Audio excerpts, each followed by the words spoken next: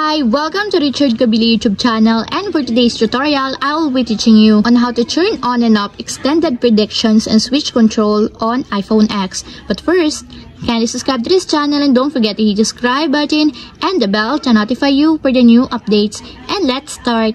Using your iPhone X from your home screen first, go to settings. Then in the settings, scroll down and find the accessibility and then top then in the accessibility, scroll down again and go to physical and motor section and then tap the switch control.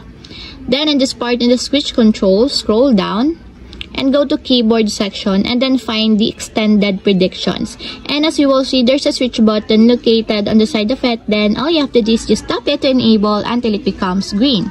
And if you want to disable or turn off, just tap again the switch button just like this.